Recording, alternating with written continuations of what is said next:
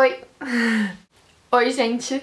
Bom, hoje eu vim falar com vocês sobre um episódio da minha vida que foi muito interessante, foi muito legal e eu acredito que pode trazer coisas novas pra vocês. Pra quem não sabe, eu estudei no internato. E se você não sabe o que é internato, é um colégio que a gente dorme na escola. Tipo naqueles seriados de antigamente, que nem Rebeldes ou 101. O internato que eu estudei primeiro chama IPAI, Instituto Petropolitano Adventista de Ensino.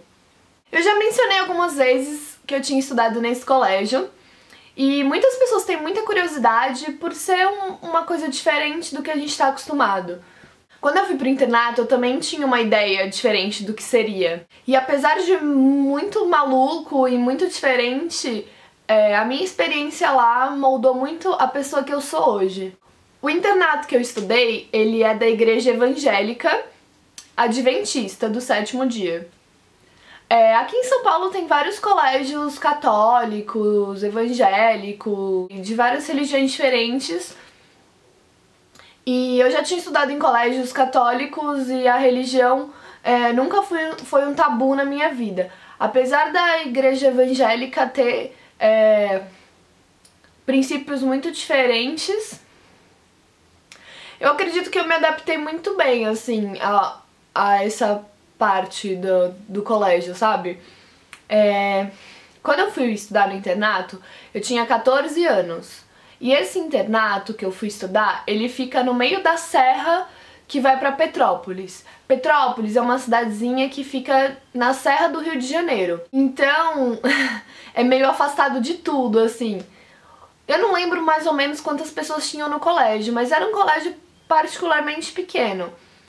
Deviam ter, sei lá, uns 200 pessoas internas, tipo 100 meninos e 100 meninas, digamos. O colégio é, é um colégio normal, assim, com uma estrutura muito boa. A gente tinha refeitório, dormitório feminino, dormitório masculino, o colégio, um conservatório onde tinham aulas de música, instrumentos, pintura. É, tinha um ginásio, tinha uma piscina, uma academia, uma praça e uma igreja lá dentro. É como se fosse uma pequena vila esse colégio. Como funcionava a escola? É, quando você vai pra lá, você divide o quarto com outras pessoas e você mora com mais três pessoas, são quatro pessoas por quarto. E uma coisa que eu acho muito bacana do, do colégio é que eles tinham um sistema de bolsa. Porque, como um colégio é muito grande, eles não tinham como manter com muitos funcionários, sabe? Porque senão ia ser muita grana. Então, os alunos trabalham na escola. Você pode ser bolsista. E existem vários tipos de bolsa. Então, tinham os alunos é, que a gente chamava de hindu, que eles trabalhavam, sei lá, 10 horas por dia. Eu não lembro quanto era, mas. E aí eles tinham bolsa integral no colégio, né? Aí tinham os semi-hindus, que eles trabalhavam, sei lá, 8 horas e, e aí pagavam um pouquinho e tinham um desconto maior. Aí tinha o semi-semi, que trabalhava 6 horas e menor, e tinha o semi, que trabalhava, sei lá, 4 horas e tinha um descontinho. E tinha os regulares, que são os alunos que não precisavam trabalhar, eles pagam toda a mensalidade e não trabalham. E apesar disso ser muito legal, porque dá a oportunidade de muitas pessoas estudarem no colégio, né? É... E é legal a gente, tipo, trabalhar na escola e tal é, dava um pouquinho de intriga também, porque todo mundo ali é adolescente, todo mundo é jovem e trabalhar às vezes enche o saco mesmo. É, e era engraçado porque quando você fazia alguma coisa errada na escola, você pagava TO, que era trabalho obrigatório. Então você ia trabalhar, você pagava um trabalho comunitário para o colégio. Uns fatos muito interessantes lá também é que não podia ter contato físico, ou seja, você não pode encostar nos meninos, não pode dar a mão, não pode chegar muito perto. É, tinham as monitoras, né, os monitores que eram alunos também, e então dava pra burlar às vezes algumas regras, né, se você tivesse uns amigos. é... A gente tinha culto, por ser um colégio evangélico, então depois do dos horários de comer, assim. Nesse colégio a gente tinha culto depois da janta. E culto, porque a igreja adventista tem culto de sábado, né? Então a gente tinha culto sexta, noite e sábado.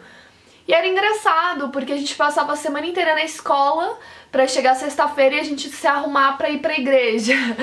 Então, dos meus 14 aos meus 17 anos, assim, eu não, não tive essa etapa de ir pra festas e tal, porque a vibe era ir pra igreja no colégio.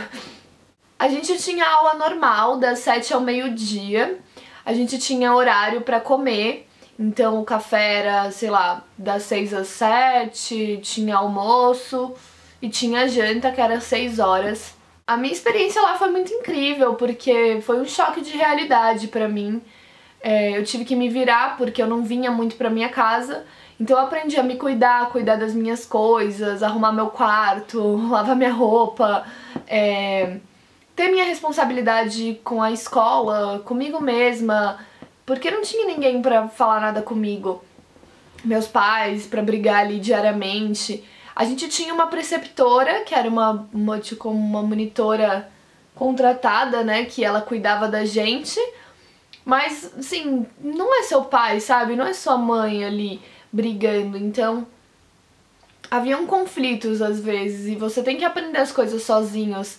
É, eu aprendi muito a me relacionar com as pessoas porque num, num, num colégio normal, num dia a dia normal, se você briga com alguém, se você se desentende com alguém, você vai pra sua casa e acabou, sabe? Você não tem que ficar convivendo com a pessoa, vendo a pessoa o dia inteiro, no almoço, na janta, no café, na escola, em todos os lugares. Você tem que aprender a conviver com as pessoas no quarto, porque morar com pessoas diferentes com 14 anos, eu acredito que é muito cedo, sabe?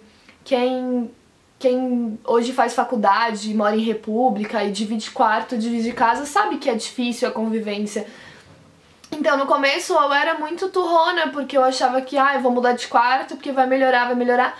Mas você nunca vai achar alguém perfeito, sabe? Você tem que se adaptar às pessoas, você tem que se moldar como pessoa também. E isso foi lindo em mim e, e eu aproveitei demais, sabe, os meus momentos no internato. Eu achava incrível, assim, a gente poder ficar com as amigas, é, fazer bagunça de madrugada, à noite, fofocar. E, e eu criei vínculos, assim, que eu não sei nem explicar. Eu tenho minhas amigas até hoje do internato, meus amigos que eu gosto muito. É, eu vivi coisas incríveis e saudáveis e eu amadureci muito. Eu passei por coisas que me fizeram amadurecer muito também, porque você tá ali, você, né, não tem para onde fugir. Então, já arrombaram meu armário, assim, roubaram todas as minhas coisas, já, meu, tive brigas com pessoas que, né, eu tive que resolver meus problemas, eu já morei sozinha e tive que enfrentar meus medos, então eu vivenciei coisas assim que, que foram muito incríveis mesmo, sabe? Eu, eu acho bárbaro o internato, eu, eu gosto muito disso. Óbvio que tem muitas coisas que eu não gosto, talvez pe pelo fato de misturar um pouco com a religião, ou.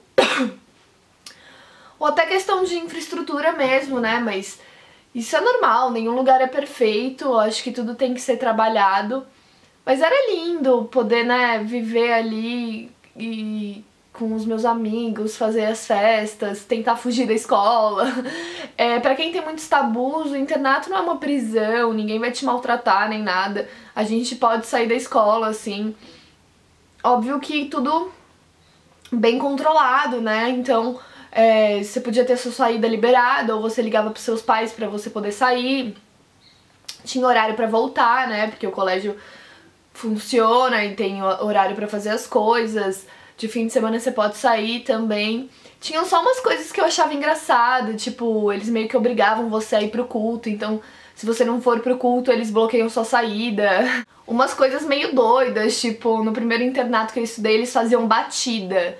Tipo, eles deixavam a gente assistindo um filme na capela e eles iam chamando de quarto em quarto e, tipo, vasculhavam seu quarto, assim, pra achar, sei lá, droga ou alguma coisa que roubaram de alguém e tal. Meio uma prisão, assim.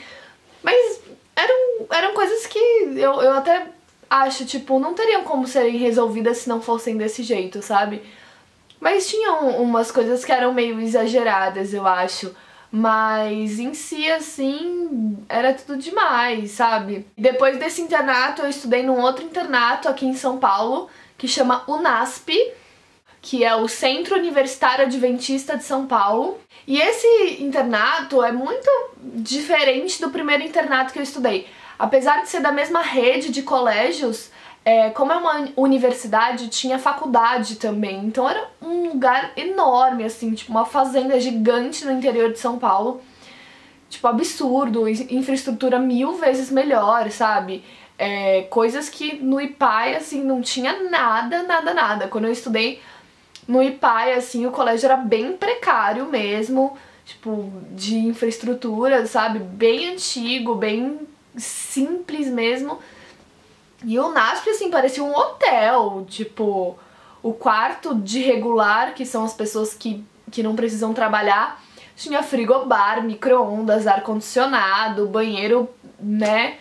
E, e quarto de regular era um quarto normal, com quatro camas, ele só tinha um banheiro no quarto só que era um banheiro tipo de um hotelzinho de estrada, assim, um chuveiro, um toalete e uma pia.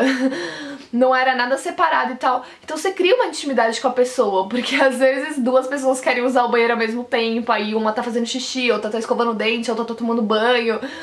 E isso, né, é, é, era muito surreal, porque no NASP o banheiro era separado, assim, era um banheiro grande, tinha tipo duas pias, um armário para cada uma, aqueles armarinhos de banheiro. É, o toalete era uma cabine, o chuveiro era outra cabine, então você tem, você tem mais privacidade. E no IPAI não, o IPAI era tipo aquilo ali, entendeu? É, os regulares têm essa regalia e as pessoas que trabalham, elas dividem banheiro, é um banheiro coletivo. Então o quarto delas pelo menos no IPAI o quarto de quem trabalhava era bem maior. Eu já cheguei a morar no quarto é, de quem trabalhava. Eu deixei o quarto dos regulares e fui morar no quarto de cima. O quarto era bem maior e tudo mais. E no UNASP o quarto, assim, juro, era sufocante. Eram uns quartinhos minúsculos que não dá nem pra andar direito. Você entra no quarto, aí tem dois nichos, assim. Um nicho, tipo, é a escrivaninha tem uma escrivaninha para cada uma, bem apertadinho, e o outro nicho são as camas e elas saem da parede, assim, bem de meio prisão mesmo. Mas é isso, né? A estrutura da escola. É, e o, só que o NASP gigantesco, assim, sério. Tem tudo, tem até fazenda lá dentro. Tem, nossa, não sei nem explicar. É muito grande mesmo. E esses colégios, eles têm várias redes, assim. Quando eu tava no IPAI, eu fiz parte do coral da igreja e a gente fez meio que um, uma turnê, assim, do coral para cantar nas igrejas adventistas. E a gente conheceu o internato na Bahia, em vários lugares, assim. E é demais, gente, sério, tipo, eu achava incrível. Cada um tem, tem uma característica, uma estrutura, é muito doido. E e eu, eu sou muito grata por ter vivenciado essa experiência, porque eu aprendi muito com isso. Eu acho que se eu não tivesse ido pro IPAI antes de ir pro NASP, teria meio que me bagunçado um pouco, porque o NASP, por ter essa infraestrutura diferente, não, eu não teria aprendido as coisas que eu aprendi no IPAI, sabe? É, porque o NASP é meio regalia, assim, sabe? Meio uma férias. e e o IPAI não, o IPAI você sente falta de muita coisa, porque é uma realidade muito diferente, assim. Eu, meu, sei lá, sabe, era no meio do nada mesmo, não tinha, tipo, um lugar perto para você ir. Eu, muitas vezes eu ficava, sei lá, com fome à noite, porque a gente jantava às seis da tarde, a janta é lanche, né? É tipo meio que sobrou de comida do almoço, assim, se você quiser comer comida. Mas eu sou o tipo de pessoa que, sei lá, eu não consigo comer uma pratada de arroz e feijão 6 horas da tarde, sabe?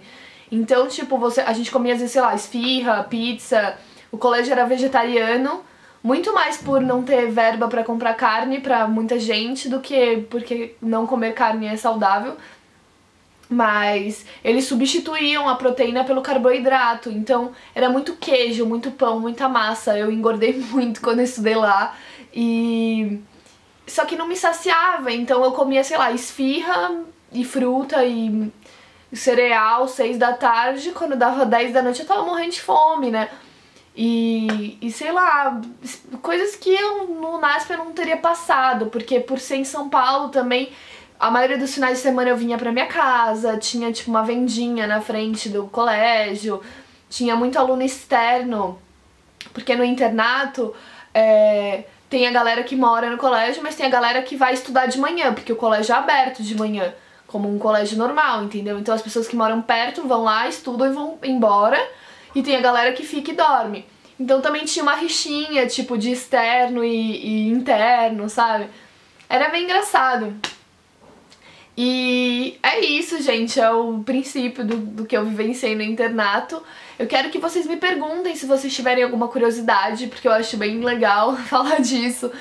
Posso tirar algumas dúvidas de vocês, posso fazer outro vídeo respondendo só as perguntas. Se você quiser saber alguma coisa sobre o internato, deixa aqui embaixo sobre a minha experiência lá. Falem pra mim sobre o que vocês querem que eu fale, que vídeo vocês querem ver. É, vou procurar fazer mais vlogs, porque eu sei que, eu sei que vocês gostam. É, eu quero pedir, por favor, pra vocês é, se inscreverem no canal do Distribuidores de Flores e curtir a página no Face, porque é um projeto muito lindo que eu tô iniciando e eu quero muito que vocês façam parte. É um projeto aberto, isso não é um projeto fechado, é um projeto para todo mundo se envolver e participar. Então, curtam lá, sigam lá. E milhões de beijos. Até o próximo vídeo. Tchau!